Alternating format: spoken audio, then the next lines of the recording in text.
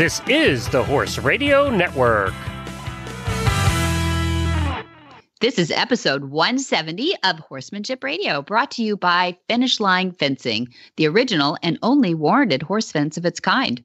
Horsemanship Radio is part of the family of the Horse Radio Network, and today we have some geniuses. They really are. They really figured this whole thing out. Dr. Juliet Getty joins us again, and she's going to talk about winterizing our horses. And we've got a beautiful couple, a really heartwarming story coming out of Arizona.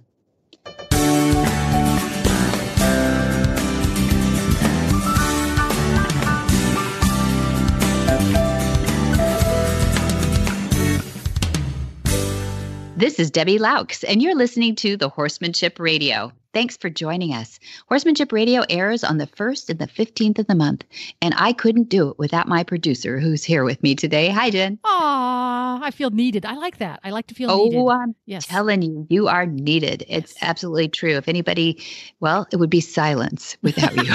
That's what it would be. Absolutely Absolute nothing. silence. Well, Yeah. as as we record this little bit of our episode today, you guys out there at Flag Is Up Farms Oh. is are finishing up the transitional horses clinic that Oh. you did, and in my personal opinion, groundbreaking quantum Ah. shift in how people who are in charge of finding homes for transitional horses find the homes and how people who are about to bring in a transitional horse do it. So give us kind of the, the quick and dirty overview of what it was and how it went. It was so fun. That's the quickest one. And it was so much fun. We call it the Monty Roberts Mustang and, and Transition Horse Program. It is generously funded right now as a pilot program of the Right Horse Initiative, which is a program of the ASPCA. Yep, we've been brainstorming on this on, for a few years. We're just a little slow, but we finally we finally pulled it all together with some really wonderful people. And the idea is that, you know, we don't have to say rescue horses anymore. We don't even have to say rescue dogs and cats, but we know it's acceptable in the dogs and cats world. In horses, it kind of gives this connotation that you're going to throw them in the back pasture, sanctuary like. They're, they're, you know, they're done. And they're not. These are beautiful, eh, they're off the track thoroughbreds. We have an unstarted saddlebred horse. We have a, an appendix paint horse named Mariposa that has a butterfly mark on her shoulder that's just unbelievable that it came out like perfect. And you know, it's just these really cool horses that are looking for their next home and their next vocation and they're athletic. We got a a war horse in there. I'm in a she he won a court he's so pretty he's he is cool he's gray he's nine and he is built like a tank he won a quarter of a million dollars Wow. and I know, just an unbelievable amount of races. He's just, and he's the quietest, gentlest. I mean, everybody wants him. Unfortunately, that's the sad part.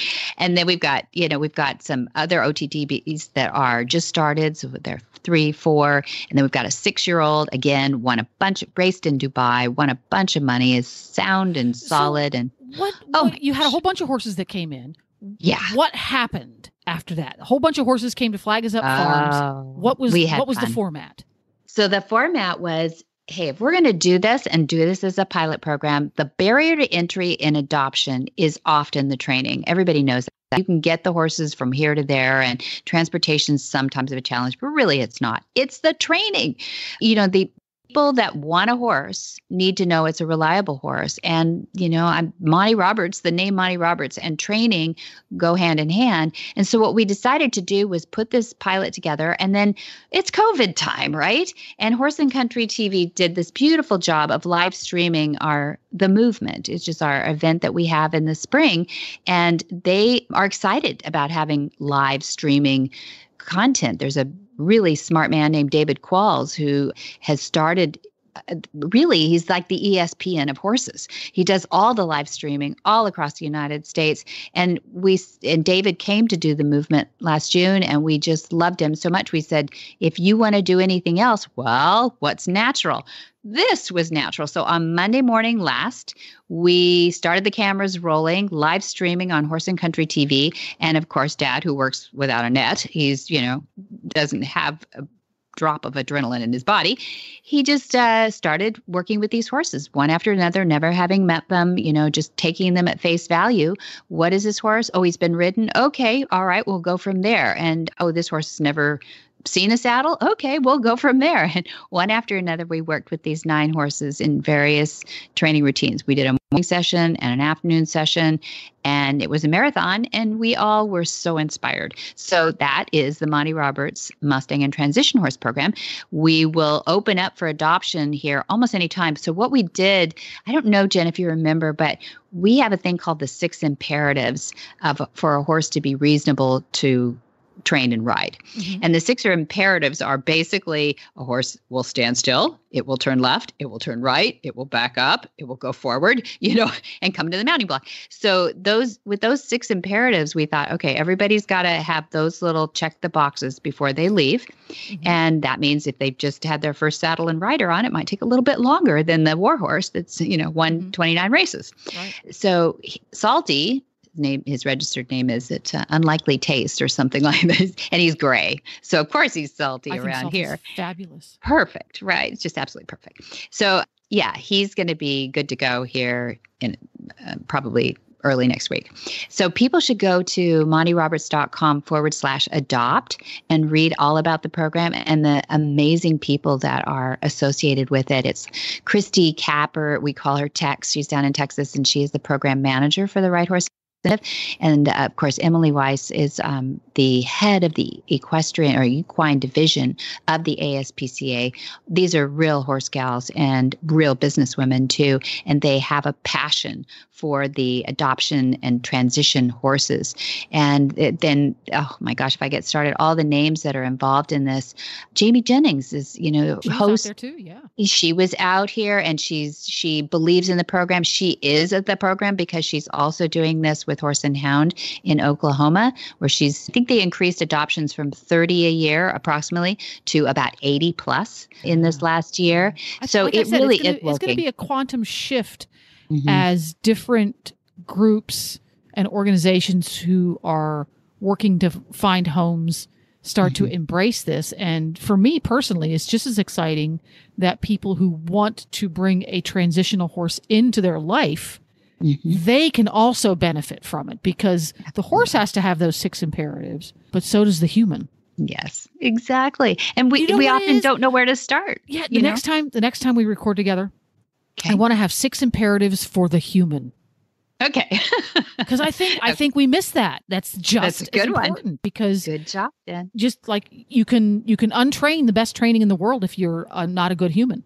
That is so true, Coach Jen. Yeah, You've seen it probably. I've seen it. I've seen it. So there we go. Well, that is so fabulous. We could go on and on and on and on and on about it. And I'm I suspect as time goes on, we'll hear more about the next uh, clinic that you guys are going to have, and maybe we'll get some stories about horses who were adopted out of this first clinic. Yeah. But in the meantime, we're running short on time, so we need to hear from our fabulous sponsors, Finish Line Fencing.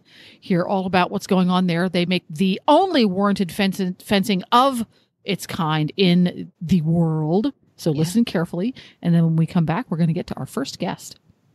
Yay!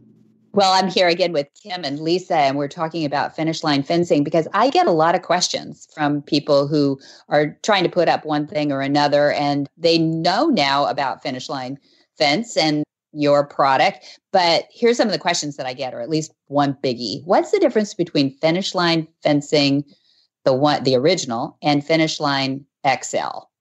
Yeah, absolutely, Debbie. Like I mentioned before, the original finish line has actually been out for over 30 years now, and that one was actually developed for horse safety. It's it's 1,250 pounds of tensile strength. It's four millimeters in diameter, and it's available on a spool. And one spool only weighs about 24 pounds, so it's very oh. lightweight and easy to handle. XL, on the other hand, has been out for a few years now. It is 1,850 pounds of tensile strength, five millimeters in diameter and it, it really just adds to the visibility that that thicker diameter it so is that eh, that's the main feature of that is so that you can see it a little bit more from a distance aesthetically for uh, visibility for the animals yes that that's that was one of the main reasons and actually it was an answer we came up with this because a lot of our customers keep their cattle and the horses together So we Right. needed to come up with a solution for them. So we needed something a little higher tensile strength. So by increasing the diameter, which gave you the beautiful line to look at and more visibility, it Mhm. also gave you that added tensile strength. So that way, the horses and cattle, when they were worried about not maybe it not being strong enough at 1250, the original. Mhm. So a lot of people, we came out with this, and it's actually very popular. Still very economical, and it's really in high demand right now. I'll put it this way: 30 years ago, we used to sell about one percent black. Now it's about 3% black, and I think it's more of a trend in in style. you know, if you've got both colors available, they should counsel with you on what's going to be the best look and the best safety for their horses for their particular region. I imagine green backgrounds versus sandy Arizona backgrounds, you know, might make the difference. Thanks for sharing all that too. So, where do people find you? How do they get hold of you? So there are a few different ways that you can reach us. Um, we do have a website. It's finishlinefence.com. Our Facebook page is Finish Line Fence, or you can give us a call at 877-625-6100. You can order online. We have a full shop on our website. You can give us a call. We'd be happy to get you a quote for free. Um, and we do ship out daily and worldwide as well. We're we're very quick on shipping. We usually ship out the same day, if not the next business day. Christopher and Amanda Moore founded Reigning Grace Ranch in 2009. And together they have over 20 years of experience working with children, teenagers, and horses. Christopher and Amanda met when they were just 12 years old. That doesn't happen anymore. Both traveled the country as professional competitive dancers, and they became dance partners, and then true friendship blossomed. The rest is history. Well, welcome. I've got Amanda and Chris, Christopher Moore on the phone, and they're from Reigning Grace Ranch, and I'm really excited. We have been planning this for, for about a month and a half, I think, to get you on, and I know how busy you are, and no wonder if people go to your website, and we'll give them that to, to write down later on too. But I love your motto, where redemption runs free, and I love your story. But before we get into Reigning Grace Ranch, which is the the reason for the being here on this podcast, I'd like to know a little bit about you two because it's interesting to me how not only a person makes a decision to dedicate their life to something like this, which is serving, frankly, uh, but how a couple does it and how that Hmm. came came to be. So, Amanda, I'd love to start with you. We got to chat a little bit. You- We were introduced by friends of ours, Kim at uh, Finish Line Fencing, and uh, I just I love their team, and I'm really glad she introduced us. And I feel like I know you, even though we haven't met. Yeah. So tell us a little bit about how you two came to the decision that you're going to change change your lives a little bit. Yeah. So so about about 11 years ago, Christopher and I were struggling in our marriage and we had actually grown up together dancing. So we had something that we had in common and something that we you know, a common goal we worked together for achievement, that type of thing. And stopped dancing, got married, started our careers and we found that we were growing apart and we both had a love for horses i had horses growing up and he had horses growing up but we just never could afford them but it came to a point in our marriage that christopher it was actually christopher's idea said hey we need to we need to have something that we do in common together that that we can love together and so we got into a point where we could afford to buy two horses and and so we we decided to we bought two Tennessee walking horses from Texas actually,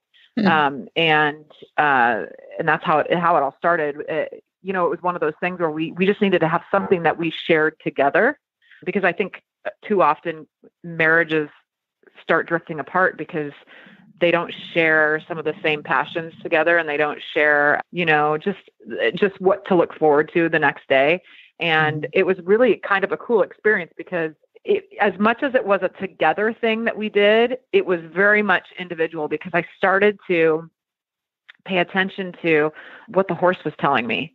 You know, as a kid, I had horses, but never, they were, they're more of a, honestly, they were my mom's show horses and they were a lot of burden for me.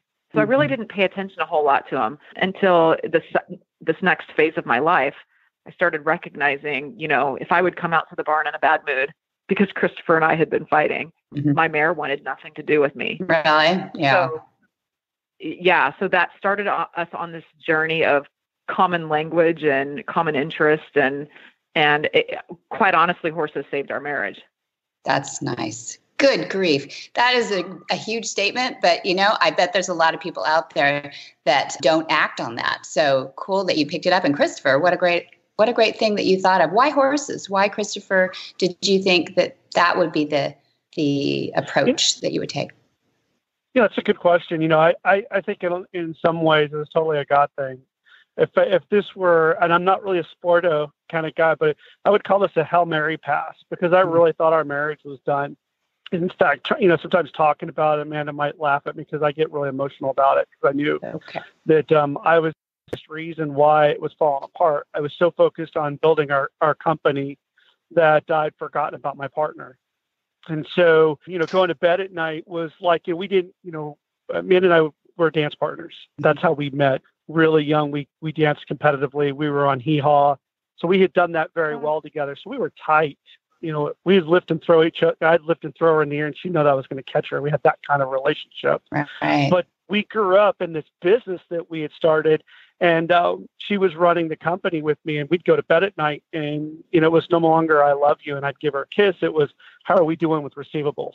Yeah. And you know, it, it would turn into conversations that were weren't friendly.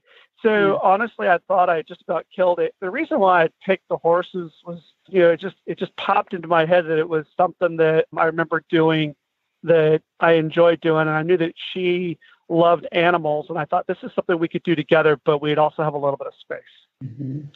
So that, a that was a lot of work. A lot of work. I mean, that's a you, you know that was going to make or break. I imagine, right? I had no idea what we were getting into, but I will tell you that it was an opportunity for me to figure out how to really become closer to my wife and love what she loved. As much as I loved horses, horses for me as a kid um, were a tool. You know, I was I was raised in the classic cowboy roper world, and so hanging out with Amanda, horses had feelings. They fought. They responded, like she said, if we were having a bad day, if you were paying attention, your horse was telling you that. Yeah.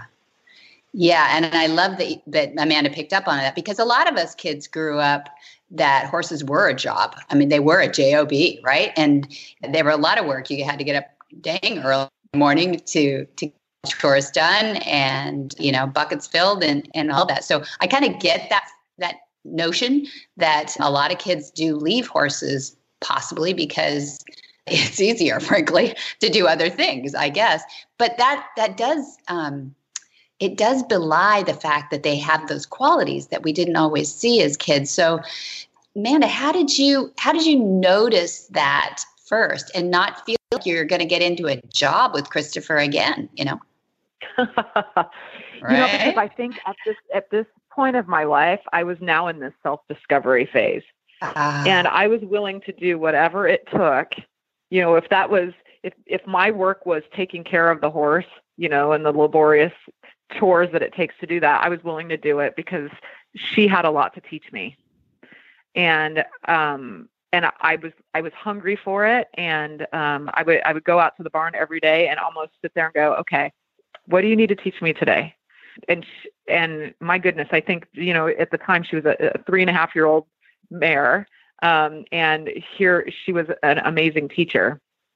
And so I think that's that's what got me through. And you know, honestly, the the chores now as an adult for me are are um, a lot of therapy. Mm-hmm. honestly, it's mean. the only time it's the only time that I have in my day to be still and do a mindless chore, but be alone with my thoughts and think through my day and think where I'm at if I'm grounded you know and then it's it's interesting because if i'm grounded my horse will come and stand put her chin neck mm. on my shoulder you know from from behind and and i know she knows where i'm at when she checks in so yeah. Yeah. They are. They're like biofeedback machines, aren't they? And they I'm putting it back in the machine category, but I mean they do they do know exactly well, they're you know, they just know our intent.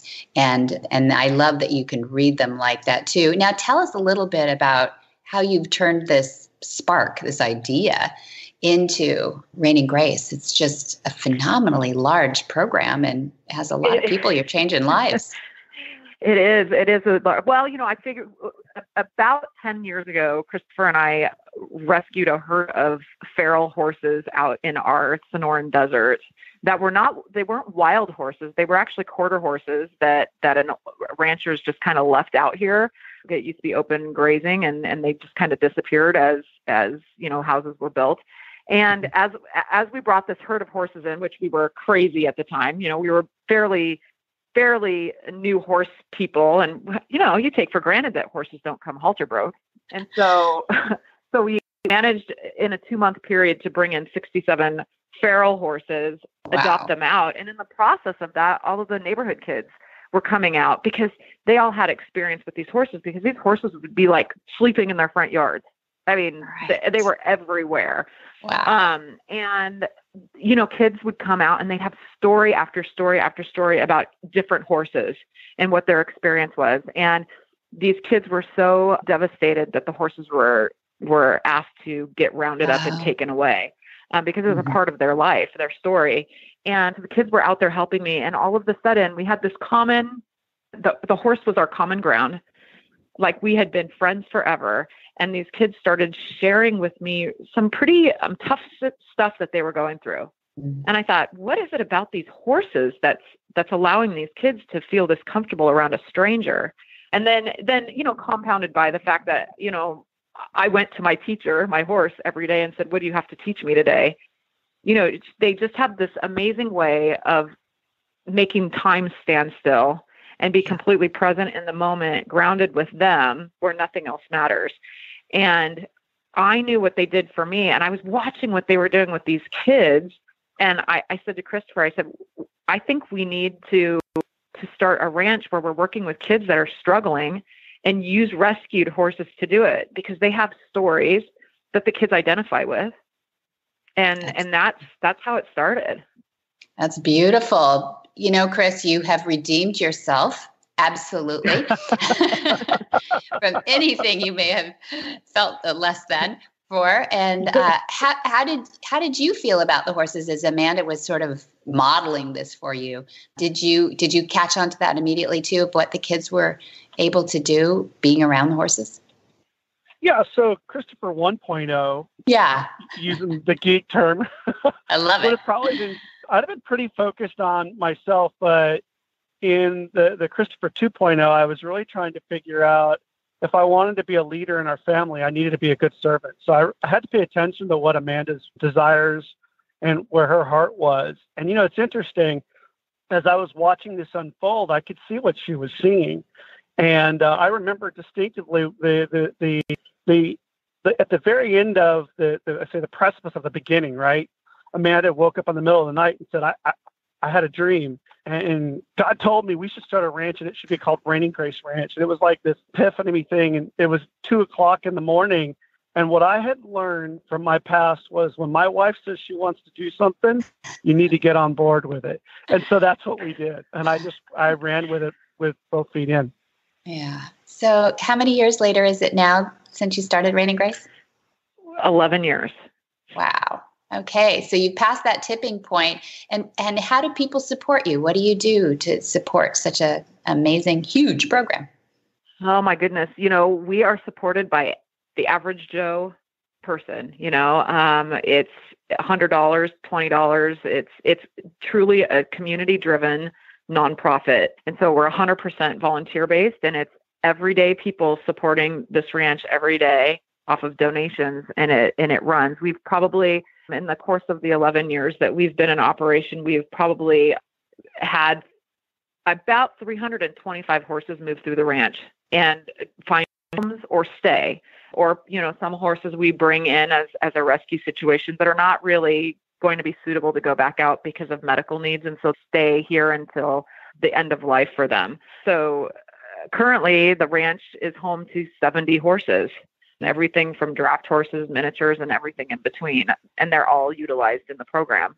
And, and you use the word family a lot on the website. And I love that because we can see the diversity in the photos. Horses mm-hmm. of people, of ages, everything is is completely diverse. So how how is that a, a lightning rod these days for you guys? Are people drawn to that to to kind of pull together, or is that something you have to work on all the time to keep people together? Yeah, so um, you know, I think uh, you know I was raised in a in a rancher family, they were all dairy cattlemen. And so, you know, Sundays at grandma's was like everybody else's Thanksgiving, whole family gathered. so we really wanted a feeling that when we were together, we were all we were all united. And so the culture of the ranch is that everybody matters. Everybody has a purpose. And so because we function that way, I think people are hungry for connectivity. We're so disconnected today with technology. It really um, wedges us apart, right? And hmm. so at the ranch, you're so present and you and everybody's part matters. You know, you're working with 12 and 1400 pound horses. If you're not all working as a team, you know, lots of stuff can happen. And so don't you, Amanda, don't you feel like that's one of the places where people really yeah and i you uh, know and i think other. i think it's i think it's really cool you know uh, uh, i would say a primary client of the ranch is foster kids and so these are kids that have are coming from broken homes that don't know what a family is and right. because we grew up in, in a family it's so important but you know what's even cooler is for the kids to come out and see a herd of 70 horses operating as mm-hmm. a family you know they take care of each other you know the alpha and then you've got you know they just the way they take care of each other and they don't get their feelings hurt but they're firm but fair and you know there's all of these things uh, that we teach the kids and they can watch the horses do it. Mm-hmm. and it's just I, I think like christopher said people are hungry for grassroots you know what does it feel like to belong? And to be held accountable with love you know too often it's easy to get out of stuff you know? Yeah. and that's not our I, I see our kids that are so used to quitting that it becomes part of who they are. And before they even start they've already quitted because they know what that that's their mo yeah. And at the ranch they're not allowed to do that. They're if they're going to come out here they are you know they're a, a, a, very important integral piece and there's other people relying on them. May, and we, a lot of times great. talk about that with the herd of horses. Mm-hmm. They, they don't do well as a, a single out there, do they? Horses no, just they don't. don't do they don't, and they, and they take survive. care of each other, and they all have roles, and yeah, absolutely. Mm-hmm.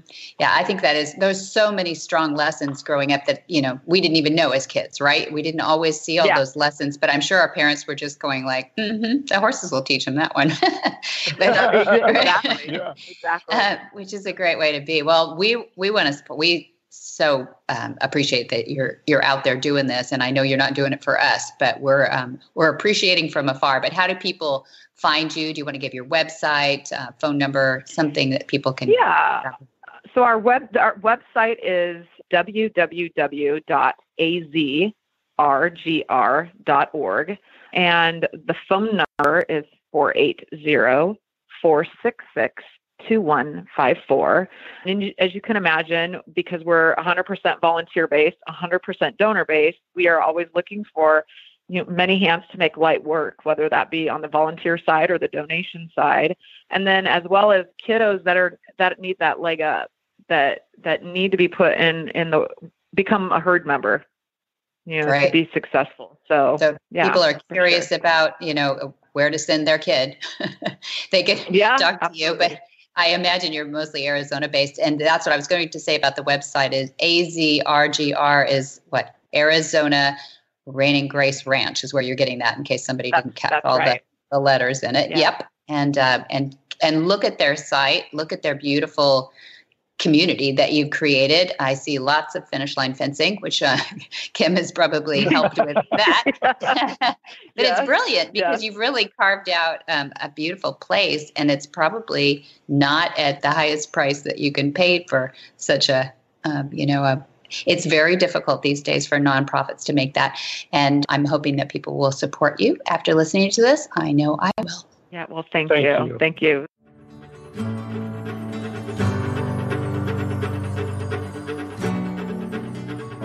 Imagine if you could take Monty to the barn with you. Watch and learn as he addresses each challenge with your horse and answers your questions too. You head to the arena and you work on each new lesson, knowing Monty's there to encourage you, all with violence free, tried and true methods. After all, he's been helping train horse lovers all his life. With his online university, you could be like Kathy, a retired teacher who just bought her first horse. Recently, I went to a tack shop to look for a smaller halter. I'm 61, just purchased my 14 hands POA the day after my birthday, just a few weeks ago, after never having had a horse. And yes, that's crazy, but as a retired teacher who never had a hobby other than teaching, I decided to go for it. My hubby and I have taken lessons this past year, but I really longed for a relationship with a horse. Um, the only other experience I'd ever had was to ride a horse in Philly, Pennsylvania, my hometown, when I was 16, and I got bucked off. And that was it until I was 61. Um, well, the owner of this tack shop, um, just this precious lady, 84 year old lady, gave me a copy of this magazine, Equine Mon- Monthly. And the article I read in it was Horses Are Biofeedback Beings. And it was just so interesting. I really felt like I just found a pot of gold when I read it because in it, it talked about Monty's online university and that I could have access to 575 videos for $10 a month. And before that, I was just searching YouTube for everything I could find. But truth, truthfully, that's just a pain. Um, I love that the uni videos are concise and they, they're in order. Um, they have extra notes and a quiz. And I just can't thank you enough for the huge blessing of your online university. It really has changed my life, and I will never be the same. Um, I've had my horse Jack now for seven weeks, and thanks to the videos, I've done join up with him, and it really worked like a dream. Uh, I had to do it in the arena, but it still worked thanks to Monty's lessons and the cues and the hand signals. Um, the ability to watch the lessons over and over on demand is incredible. So I also want to thank you so very much for making the online university affordable for this retired teacher. Thank you so much for all that you do for everyone who really wants to love a horse. Kathy.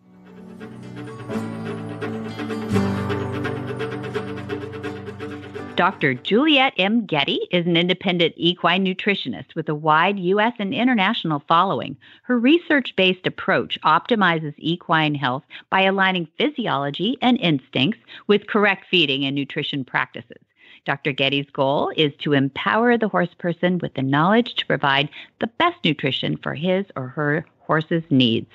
Dr. Getty is the author of the comprehensive resource Feed Your Horse Like a Horse, as well as seven topic centered spotlights on equine nutrition series of booklets. She also offers an informative e newsletter called Forage for Thought. Her website, gettyequinenutrition.com, provides a world of useful information for the horse person. Well, welcome back, Dr. Juliet Getty. How are you? I'm doing fabulously, Debbie. Thank you so much. It's a joy to be here as always. Oh, it, it is so much fun to have you. And I understand that you're going to be traveling a little bit in the next few months. So we'll have to catch up with you when you get back. I'm glad to hear that you're getting a little exploration time in this weird year. Thank you. Yes, I, I, I need some downtime. I think most of us could use some. So it's important that we all take a little time to take care of ourselves. Yeah, it, it's sort of a perspective year, isn't it? Yes, it is. It's been quite a year for most of us, and so yeah. thank you. But um, I'm still going to be working a little bit while I'm away. I can't completely leave leave it alone, but but I will enjoy the going out west and the cool, crisp air. Be nice. Yeah. Where are you going? Oh, Wyoming, Grand Teton National Park. Beautiful area, beautiful area, and very agriculturally based. So that makes sense too. You're getting out there. I hear there's more sheep in Wyoming than there are people. Well, um, when I used to live in Colorado, we used to have the, the sheep migration and it would back up traffic for miles. It was really quite fun to watch. Cool. But um, I don't think we'll see. I never saw a sheep when I was there, but we see oh. moose and elk and bison and all kinds of beautiful wildlife. Oh, thank thank you for that little postcard. That was that was great.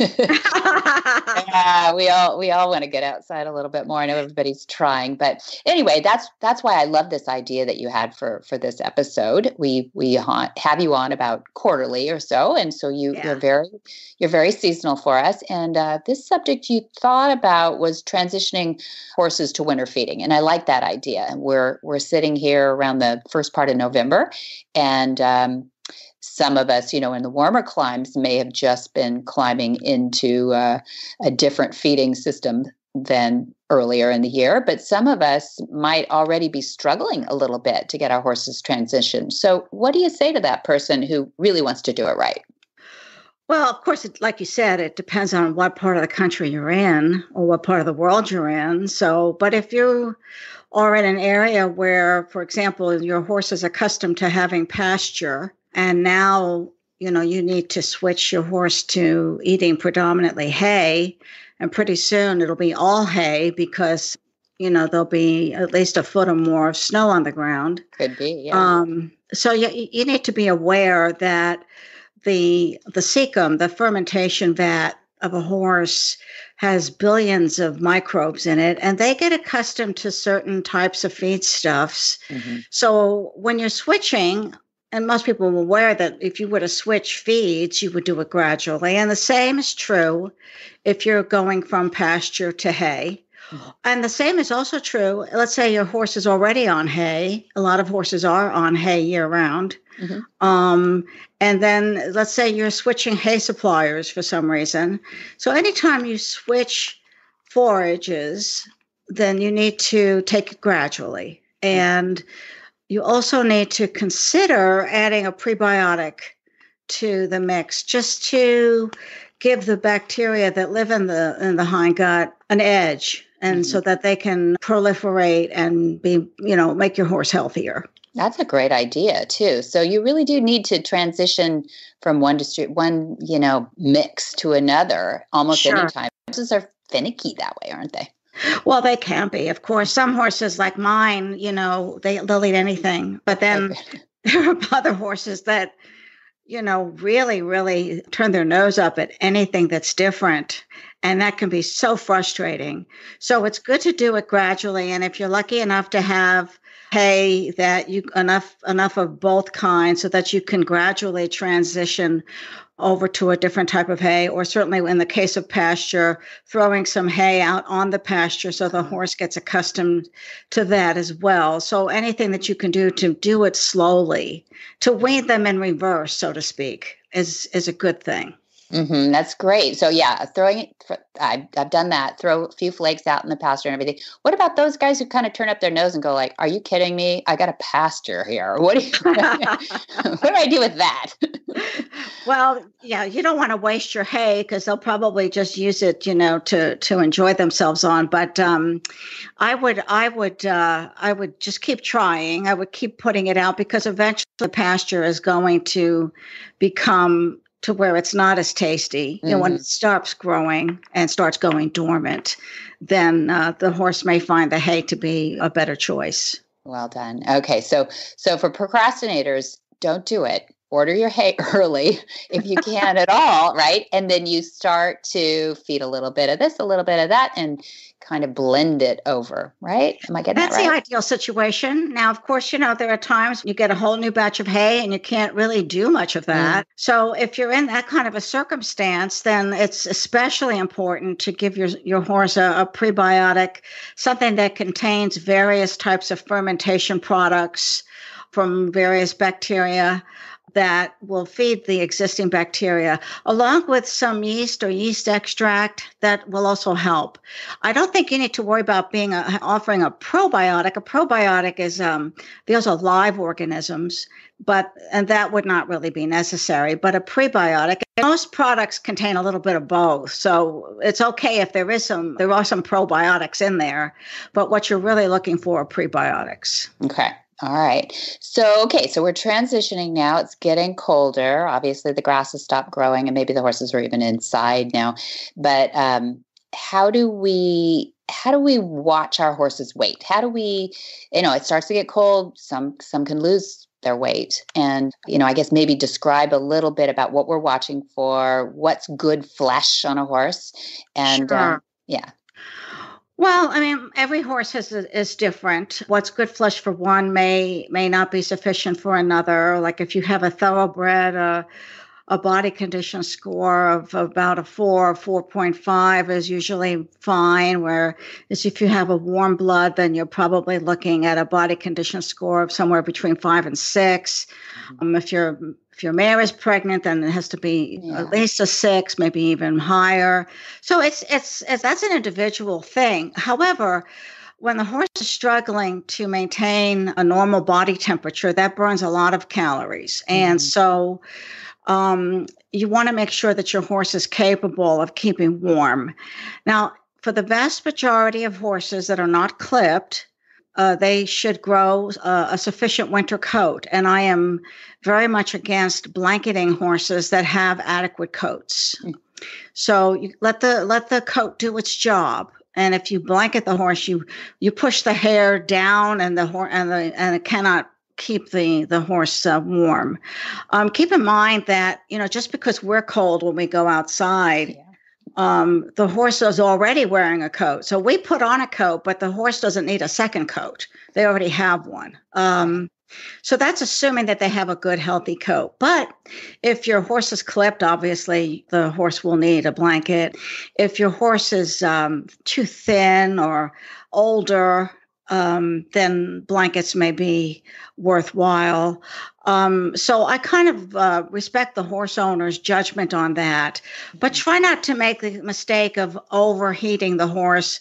Horses love the cold weather. They just, I mean, we've all seen it when it gets crisp and cold outside. The horses run around and buck and have a high old time, and they just, they really enjoy it. So d- don't uh, blanket them just because you're cold. Watch your horse, see how he behaves. If he starts to shiver, of course, and that's obviously a problem.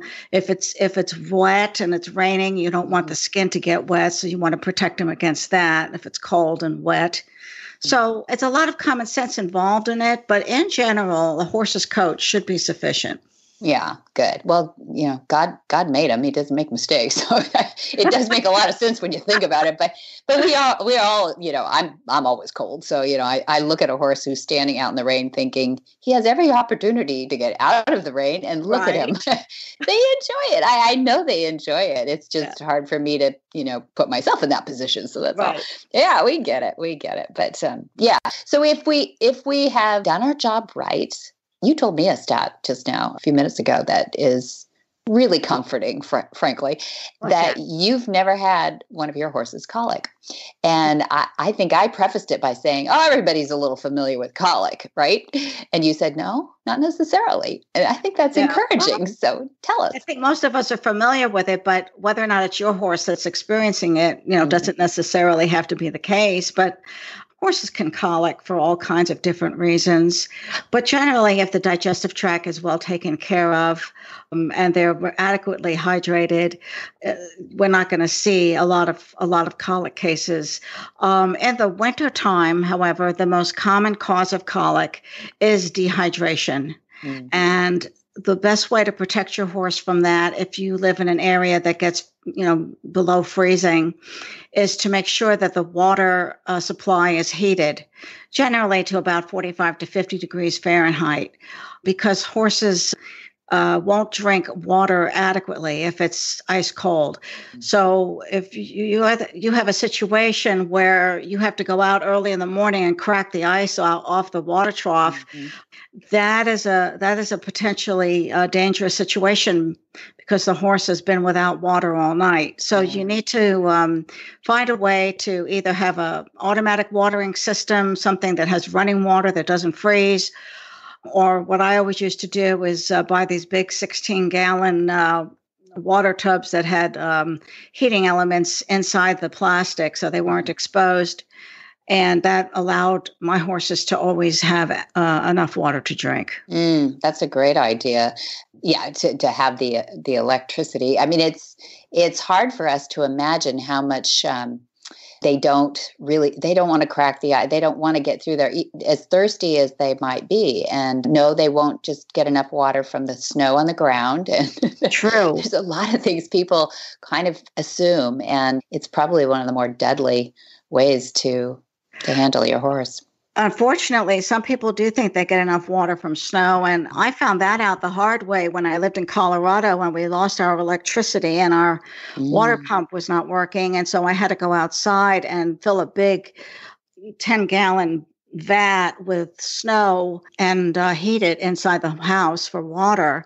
And so 10 gallons of snow only gave me one gallon of water. There you go. Yeah, there you go. I didn't even know the ratio, but I knew it wasn't very much. It's really yes. fast. Yeah. So, so yeah, horses don't uh, get enough water from snow, and and then in order to encourage them to drink, because if the water is cold, let's say you have a, an automatic waterer and the water is ice cold, mm-hmm. it's not frozen they they may not drink sufficient amounts because of the temperature. So it's important that they have uh, salt, mm-hmm. and salt is important year round. Um, all all full sized horses need two tablespoons of salt per day all the time, regardless mm-hmm. of the climate. Um, they need more in the summer when they're mm-hmm. sweating, and then but during the winter, two tablespoons a day. Usually, I like to divide that up in between meals because more than one tablespoon at a time can be a little too salty for them. Yeah. But um, that will encourage them to drink. So make sure if you're giving your horse salt that they have water close by and that it's mm. always always available. Mm, yeah, and do you put anything in your water to to change the taste when uh, for any reason at all? Traveling, maybe. Um. No, oh, when I was when traveling, yes, I would do that. Um, when when traveling, that's always an issue. In fact, I would start my horses to get used to water that's flavored with some unsweetened apple juice, just a little bit, mm-hmm. and that way I took some apple juice with me on the road, and I could just add it to the potable water that I got elsewhere, mm-hmm. and, and they drank just fine while on the road. Good, sure. good. Okay, so colic is that that word that people get a little afraid of, and for for new horse owners or people who haven't put a plan together, what what should people do if they find themselves in a situation, even if it's the the horse in the stall next door at the equestrian center, if they feel like they're in a colicking situation, what's the first thing they should do? Well, if you think that your horse is colicking, the first thing you do is you call your vet. I mean, that's very important because colic can be something that the horse can can get over, or it can be a medical emergency that requires surgery. So you really don't know what the situation is. So call your vet and don't force the horse to walk, but try not to let him, you know, thrash around. It's best to to let him just be calm. Okay. So that's that's a, more of a medical emergency than anything else. Mm-hmm. Good. Okay. So, but sometimes people wait a long time. Yes. now you, you don't want to wait around. Um, if, if, the horse has um, some type of torsion or uh, impaction, this can be you know, very dangerous. So um, I, I wouldn't fool with colic. One thing that I find that a lot of horses, another reason that horses develop colic during the winter is when they transition to hay is because they they tend to eat their hay too quickly they eat it all whatever's in sight and then they eat it too quickly and, and think about the, the moisture level in hay typically is about six or seven percent whereas the pasture moisture is a 50% or more. Mm-hmm. So you're going from a moist feed to a, a, very, very dry one. And if it's eaten too quickly, it, there can be impactions. Mm. Generally speaking, though, if a horse has, has forage all the time, like I'm always always promoting, then they will calm down and they won't eat so quickly. So it's one of the main reasons horses colic on hay is because they only get hay intermittently throughout the day and they go for many hours without anything to eat. So that when they get their hay, they eat it mm. all up and they just basically inhale it. Mm-hmm. So that's something to keep in mind when when transitioning to hay to fit correctly. If your horses are used to being on pasture and they're on there all the time, they they need to be able to graze in the same manner with free choice. Hay. Yeah, absolutely. You know, and that's a really good point. That people should if you can go to the website horsemanshipradio.com and just do a search for Getty and look back on all those things that Juliet's told us uh, about forage and keeping that horse maintaining something in his system as much as possible, I think you'll understand even deeper her conviction for that last point you just made. thank, so thank I tend to bring that. it up quite a lot because it, well, it's good. It applies yeah. to everything else.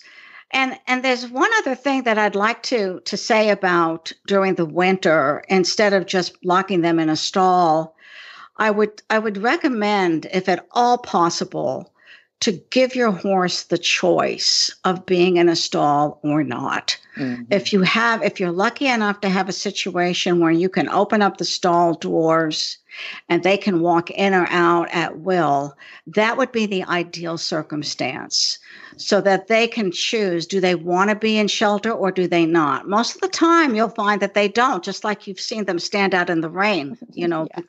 So that's a real important thing because horses that are stalled for long periods of time can have all kinds of health issues. And so I like to to allow them to have more free time, freedom, even in the cold weather. Yeah. And I think for the rest of the population called humans, we think that's ideal too, because then we can say, well, they have their choice. And so we gave them a choice. Yeah. I don't know why they're standing outside, but we feel better knowing that you know, it was their choice.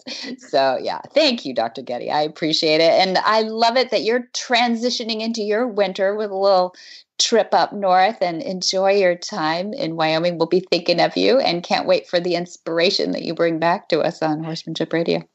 Thank you so much. I'm hoping it'll snow. I haven't seen snow in a few years, so maybe. Oh, I will hope for white stuff for you then. Good.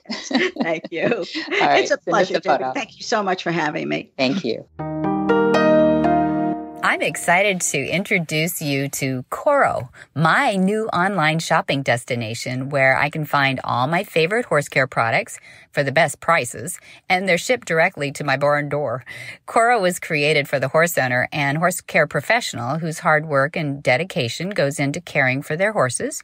To make it even easier with industry expertise, they have tried and tested products, and they even have horse inspired storytelling all under one roof.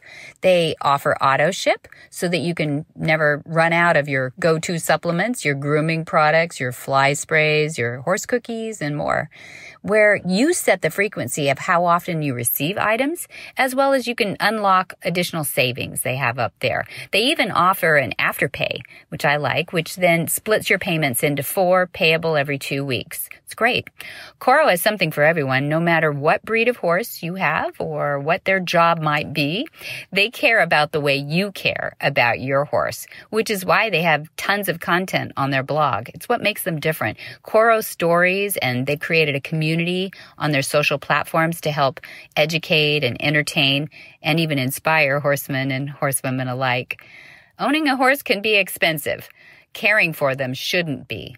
Check out their website today at corroshop.com. That's C O R R O S H O P.com. And use the code horsemanship10 for 10% off your first order today. This is all for the love of your horse. Corro.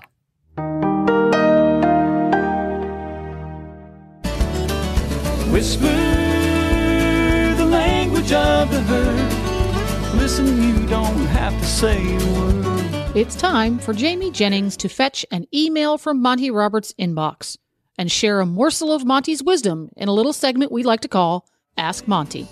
Leave this world a better place than mine. Dear Monty, I'm a new horse owner and I have a 20 month old colt I've never done a join up with. He's already pretty connected to me. Would it benefit me to do one and should I wait until he's a little older? Monty's answer. Dear Kevin, my book From My Hands to Yours has a section on what I recommend regarding when and how much to do in the area of join up. If you read that, you will realize that you are already well past the point where I would have done my first join up with them. It is my position that join up done properly will always be beneficial. 20 months is a prime time to be sure that the horse is familiar with the partnership with human beings. I recommend the first is shortly after weaning. By 20 months, I would be doing two to three join ups within a week's time. Get busy, and I think you'll find it beneficial. Monty. For more of these insights into good horsemanship, go to montyroberts.com and click on the words Ask Monty at the bottom of the page. What in the wide, wide world of sports is going on here? Where in the world is Monty Roberts? Monty is looking forward to meeting some new friends, two legged and four legged. And November 6th through 8th, coming right up, we have an intro course, Module 4, and that's preparing for the intro exams. So for those people who have taken the others, they're ready. And then on the November 12, 10 through 12, we have an introductory course, Module 1, for those that are starting the next pace. And that's for to Monty's methods. And then November 13 through 15, we've got Horse Sense and Healing again for our veterans and first responders. First responders. And then November 17 through 19, we've the introductory course module two that's join up and everything that entails in learning how to get up to join up and then the process of follow up after that and then november 20 through 22 we have the introductory course module three see we're coming full circle there and that one is all about long lining and groundwork so then we are into December. In December 1 through 3, we have the introductory course module 4, preparing for the intro exams. And then December 4 through 6, we have our last of the year horse sense and healing for veterans and first responders. And then February 8th, it's taken a leap into the future here. February 8th through 12th, we have our Monty special training. And uh, we're really excited about that because we're going to be using our transition horses in that. Oh, neat. Great. Yeah. And for all of that and more, go to montyroberts.com. That's the official website for Monty Roberts and everything Monty Roberts. It's all there in one place and it's brand new and sparkling and easy to navigate and beautiful. Thank you. Or if you want to go old school and give them a call on the phone, you can do that. It's 805 688 6288, and you will be greeted by a happy, friendly, knowledgeable human being mm-hmm. who will help you with everything you need. And by the way, you're driving down the road listening listening to this podcast and you could not jot down that number 805-688-6288 you could go to montyroberts.com and the phone number's there too. It is. We give you a cheat sheet. There it is full circle there. And for details about today's show you're going to go to horsemanshipradio.com this is episode 170 and you're going to find links photos and more information about today's guests and topics we love your feedback. Please follow Monty Roberts on Facebook. The page is Monty Roberts. Look for the one with the little blue check mark.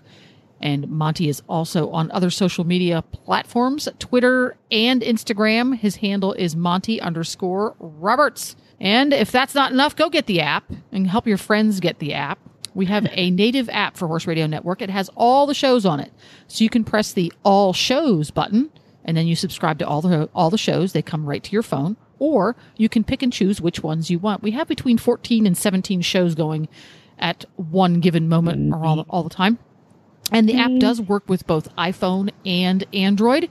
If you don't know how to get to your app store and download an app, find a nine year old and they'll do it for you. True. and they'll even show you how to use it and Yes, everything. yeah, but I, I love it when you admonish us to tell our friends how to use it once we've learned, like we really know something. But it's so easy, you guys. It's so easy. Downloading is the hardest part, if that tells you something. But I I love it too. It satisfies the need to do the check mark thing. I don't know about you, but I'm a check mark person. I like to check things off my list. And you know, every time you've listened all the way through to a, an episode, it does a satisfying little check after that. So you know which ones you've listened to and which ones you need to. So I have so much fun with that. Anyway, is that OCD? I'm not sure, but many th- many thanks to our sponsors too. We couldn't do this without them. That's Finishline Fencing and all the great folks there. Thanks, Kim. And also MontyRobertsUniversity.com. I love our team. Thanks, Janine and Julia and Monty. And you know, I just hope that everybody, every time I say this, I really want people to do this. Be sure to visit all the other great shows on the Horse Radio Network because you're going to become addicted to these podcasts that are all about horses. And that is at www.horseradionetwork.com. Jen and Glenn and all the team have provided such a great platform. So until next time, I mean this, have many happy horse hours.